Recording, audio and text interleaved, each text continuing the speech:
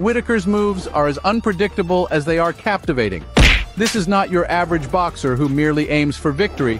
Whitaker strives to win with panache, making every fight a spectacle. His audacious antics in the ring are legendary, daring, bold, and frequently downright humorous. Remember when he moonwalked across the ring following a knockout? Whitaker goes beyond simple boxing, he puts on a show. His punches are more of a rhythmic symphony than a mere physical attack.